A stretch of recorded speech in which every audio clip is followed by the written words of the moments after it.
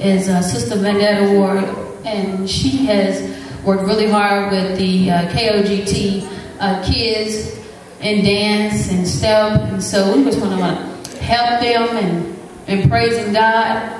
And y'all give them a round of applause. Amen. To all the people in the struggle.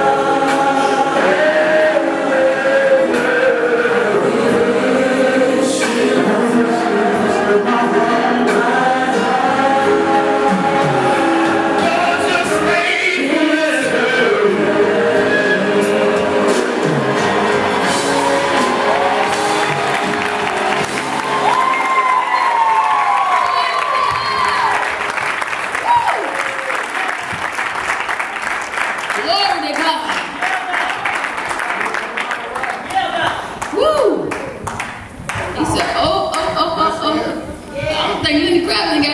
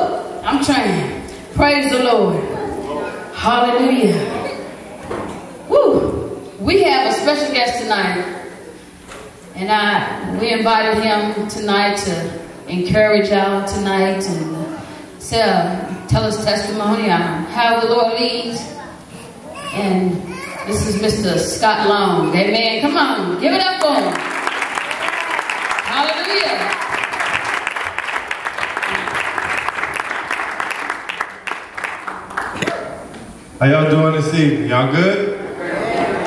I tell you what, it is a a privilege, a pleasure to be able to be a part of what's going on this afternoon. There's a lot of excitement going on. We got good singing, good music, good performance, good drama. And it is, excites me to have the opportunity to come and share with you all this afternoon.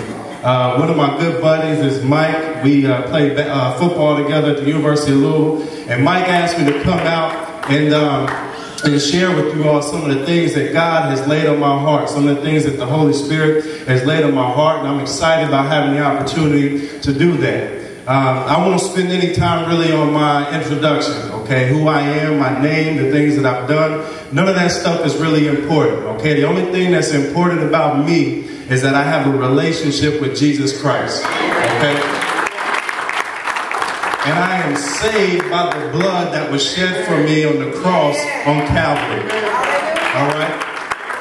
I tell people that about, about myself all the time. Who I am and the things that I've done have no importance about, uh, about my life at all. Okay, that's the only thing that matters in my life. Today, just for the next 10, 15 minutes, I want to share with you some scripture, and it's my prayer that God will reveal himself to us through this word and uh, give us something that we can apply to our own lives and take and some of the fruit out of that and apply to our own lives and get some benefit out of that. Uh, today we're going to be looking, if you have your Bibles, you can turn with me and check the scripture out. It's uh, 1 Corinthians chapter 9, verses 24 through 27.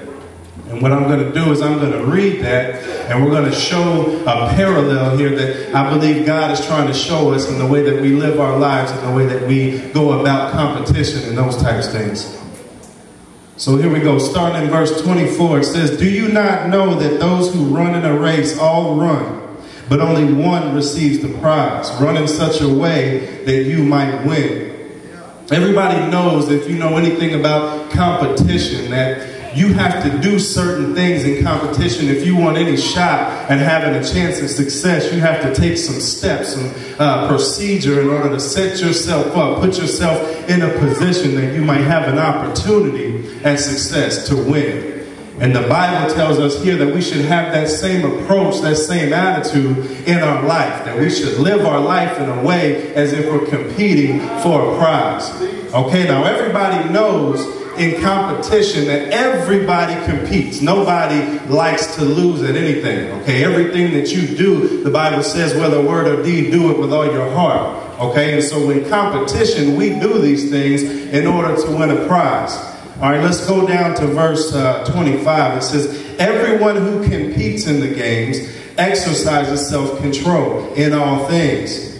They then do it to receive a perishable wreath, but we and imperishable. Now, we talked about how in competition you do things to set yourself up a, to be in a position to win. And we talked about how that parallel should be the same in the way that you live your life. The only distinction we find here in verse 25 is that in athletics, in competition, you're competing to win a prize or a trophy that will one day perish.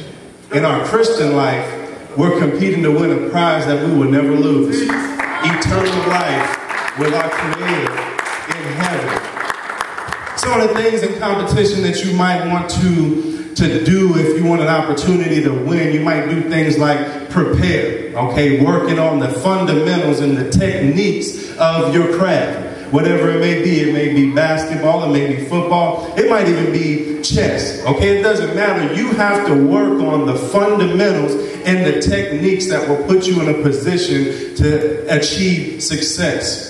And that same thing uh, lies in our Christian life. We have to make sure that we take the time necessary, what's required in order for us to have an opportunity at success. What does that look like? Well, that looks like this right here the Word of God the Word of God. This book has been given to us, inspired by God Himself, and it's profitable for teaching, for correction, and for training in righteousness, the way in which we are to go. Okay? Where to go, where not to go. Who to hang out with, who not to hang out with. How to respond to situations when somebody wrongs you. All the answers are right here. These are the fundamentals and the technique of a Christian lifestyle. The way that we are to live is right here. Okay? And when you have taken the time to prepare in athletics, you get to move to the next step, and that's dedication. Okay? Staying dedicated to the to the task or the goal that is at hand. And that same thing lies true in your Christian life. Let's go down to verse uh, 26.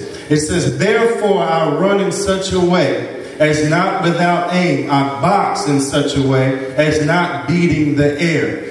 Verse 27, but I discipline my body and make it my slave so that after I have preached to others, I myself will not be disqualified.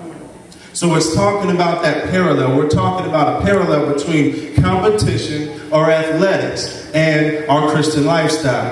And it talks about buffeting your body and making it your slave so that when times get hard, when the adversity comes, you won't quit. Okay? In athletics, we call it putting enough into the tank, investing enough into your body so that when you get in the fourth quarter or the last inning, you have enough to keep on going, to keep on pressing on towards that goal. In the Christian life, that looks like holding on to your faith when adversity comes. It looks like standing on the word of God when the world tells you that you should do it another way.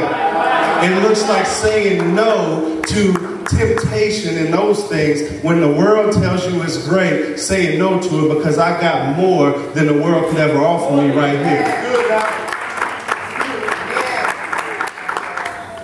So those are the two things that, that we've looked at so far. We've looked at preparation, we've looked at dedication, and the third thing what I want to spend a little time on, about five, ten minutes, is knowing your opponent. Okay? Some of the athletes in here, you know what that's all about. If you want any opportunity at beating the person that you're competing against, you have to know their strengths, their weaknesses, and how they're going to attack you.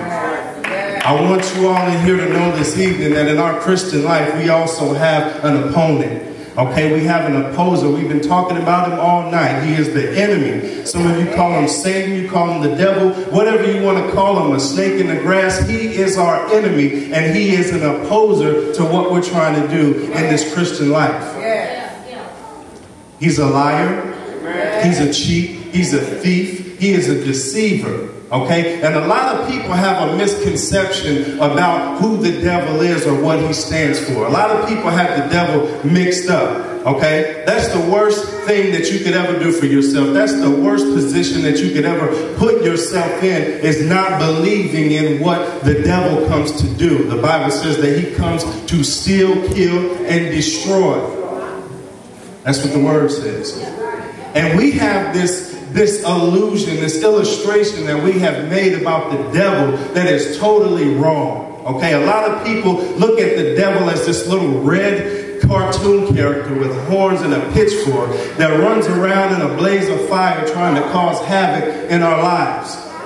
The Bible describes the devil as something far more uh, atrocious and, and devastating than that in, in 1 Peter 5 8.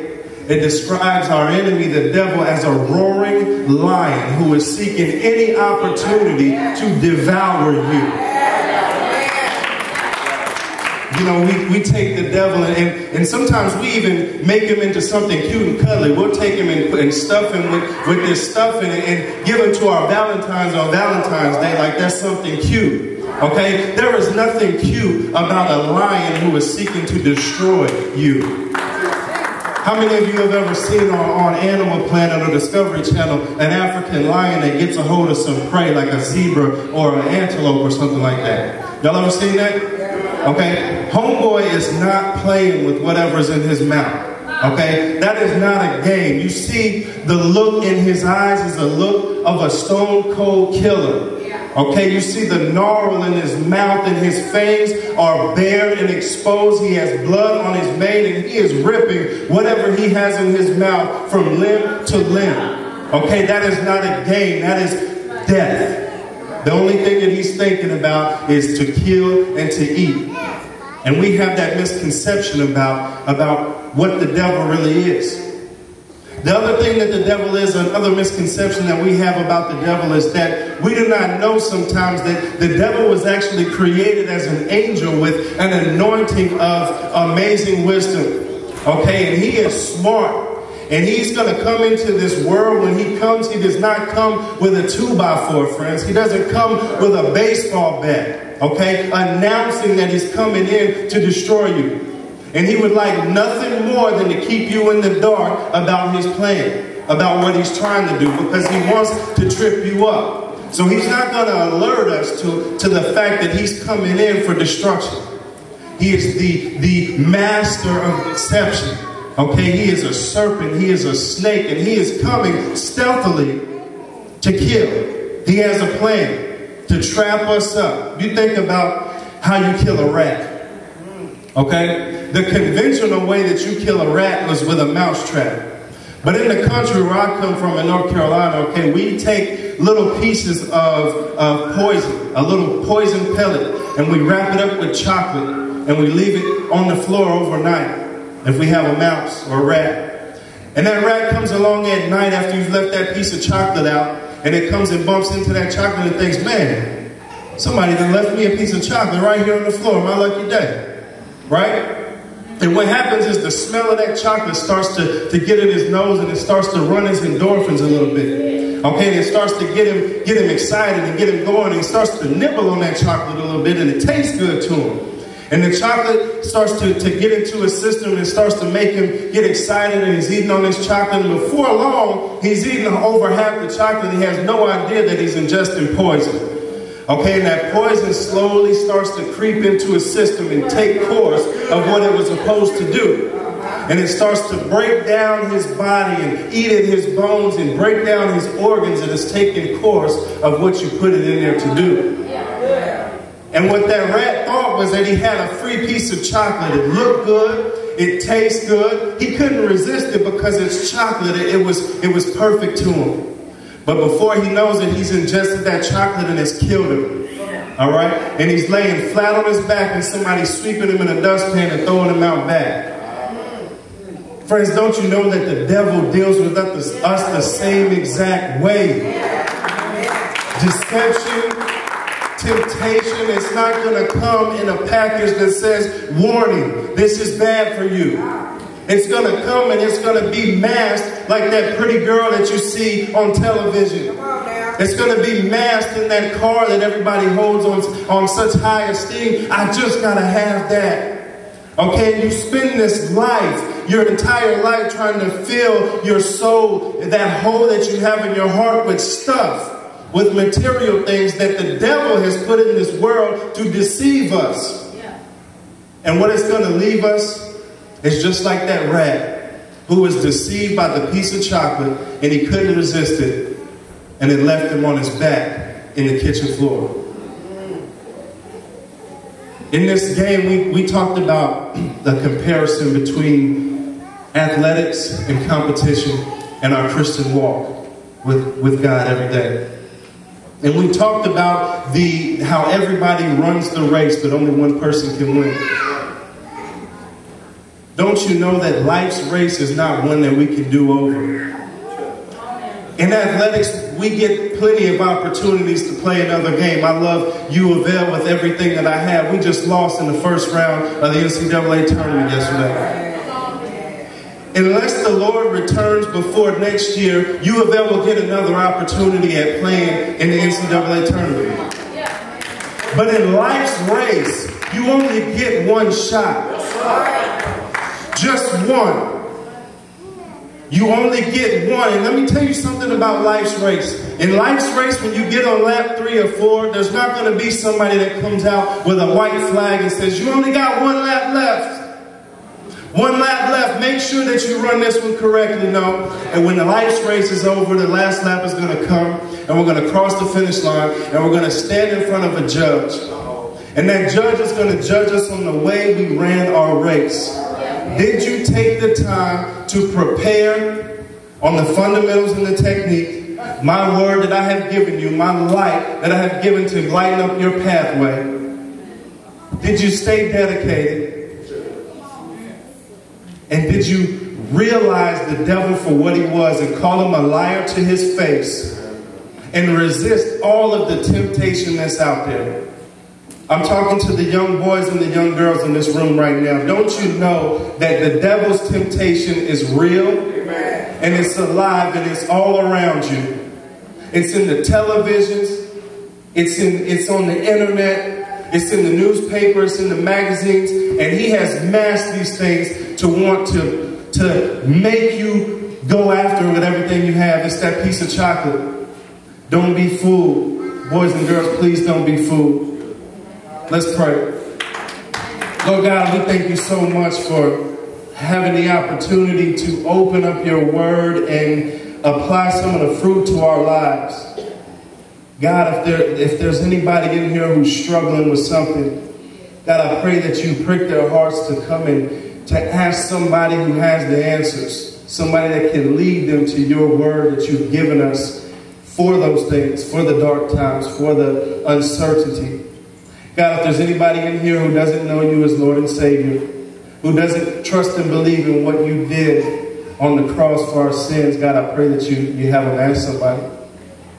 God, I pray for each and every person in this room that you protect them as they go out into the community, as they go back to their school, that they can walk as a light in a dark world.